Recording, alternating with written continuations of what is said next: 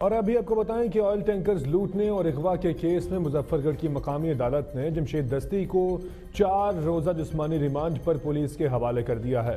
سابق رکن قومی اسمبلی کو گزشتہ روز گرفتار کیا گیا تھا۔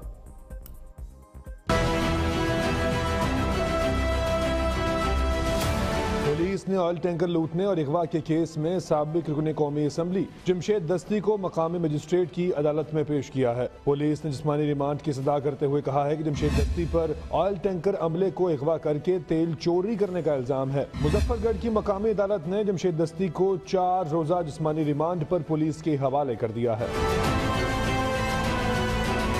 پولیس نے جمشید دستی کو گزشتہ روز گرفتار کیا تھا۔ سابق رکن قومی اسمبلی جمشید دستی کئی روز سے روپوش اور ان کا موبائل نمبر بھی بند تھا۔ آئل ٹینکر عملہ اغوا کیس میں جمشید دستی اور ایلیٹ فورس کے اہلکاروں سمیت آٹھ افراد کے خلاف مقدمہ درج تھا۔ ایک ماہ قبل پولیس اہلکار فاروق شہزاد نے ساتھیوں سے مل کر ڈرائیور سے دو آئل ٹینکر چھینے تھے۔ گرفتار پولیس اہلکار فاروق شہزاد، جمشید دستی کا گن مین اور جماعت کا سرگرم رکن بھی رہ چکا ہے۔